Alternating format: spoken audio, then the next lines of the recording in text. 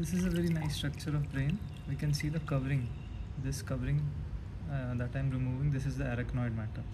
And the lobes are also clear like this is the frontal lobe parietal lobe. This is the temporal lobe. This is the occipital lobe. And if we go to the base of the brain this is the cerebellum. And here we can see the midbrain. Very clear clearly we can see the pyramids and the olives here and this is the pons and these are the like circle of Willis uh, the arteries going into the brain.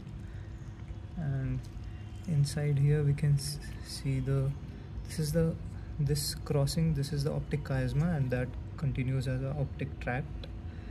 This and uh, yeah this is the olfactory nerve.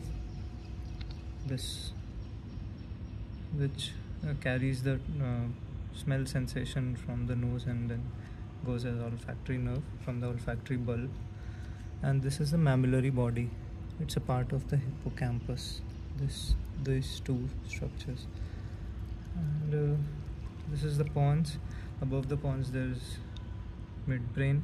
And inside there are many brain structures like thalamus hypothalamus internal capsule basal ganglia everything putamen everything.